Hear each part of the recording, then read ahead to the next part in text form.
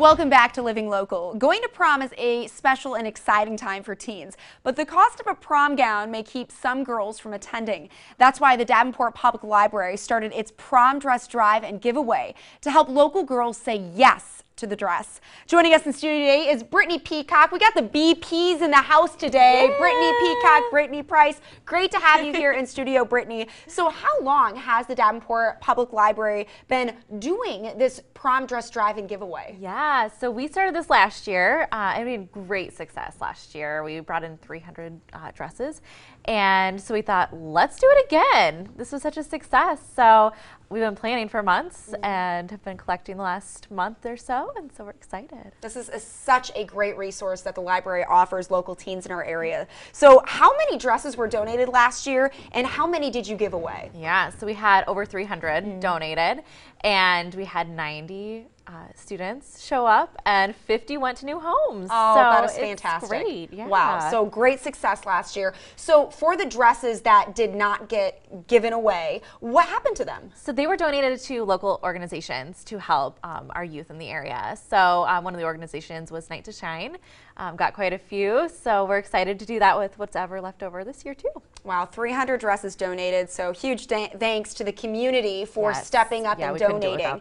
That's wonderful. So um, how are you expanding the event this year? Yes, so we had a lot of questions last year. What about menswear? Mm. And we thought, oh my gosh, we want to start small. We don't know what we right. don't know what this is going to be. Mm. And uh, since it was so successful, we thought, well, let's include these guys, mm. the fellas. So um, we were excited. We're gonna start accepting blazers, um, suits, tuxes, ties, bow ties. Yes, because it gets expensive for the guys too, you know? Absolutely. So now I understand that the donation deadline has actually passed. So are you still accepting donations? If people are watching this, how can they get involved? Yes, bring us your stuff. Clean out those closets.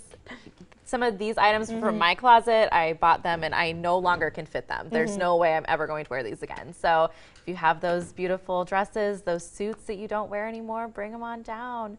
Um, we'll accept them. The Fairmount Library would be the best place to drop them off, but we can get them to, to the Fairmount Library. And I know a lot of people out there have been in a lot of weddings. They may have yes. bridesmaids dresses. Those work great yes. as formal wear or Absolutely. prom dresses. So um, when and where will the formal formal wear giveaway be happening? Yes, so it's going to be on this Friday, or um, excuse me, this Saturday, mm -hmm. the 18th, at our Fairmount branch, 6000 Fairmount Street uh, from 2 to 5. And if you come early, we're also going to do a little fashion show as well with um, some of our teens. That's so awesome. very fun. So, Brittany, last year when you guys gave away these dresses, what was the reaction of the girls that received them?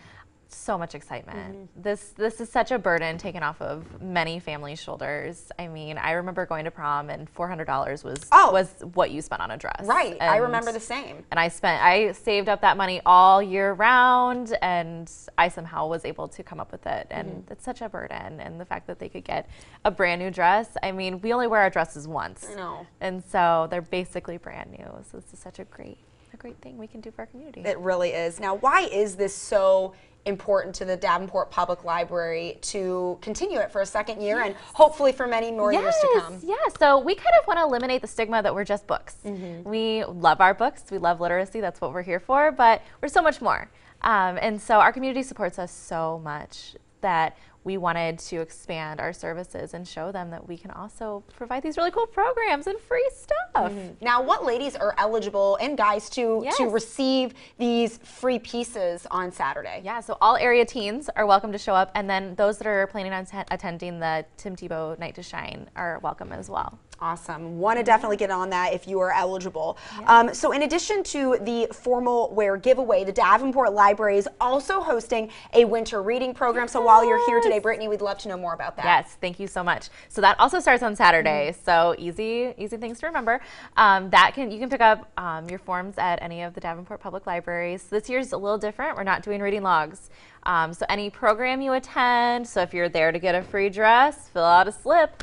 Um, every book you fill out, you get entered in for a grand prize. We have a weighted blanket and Kindle for adults, and um, a burrito blanket, and a year subscription to Disney Plus. oh my gosh! So it's pretty awesome. Amazing prizes. I want to yes. get that burrito blanket. Uh, That's yes, where it's, it's at. Very cute.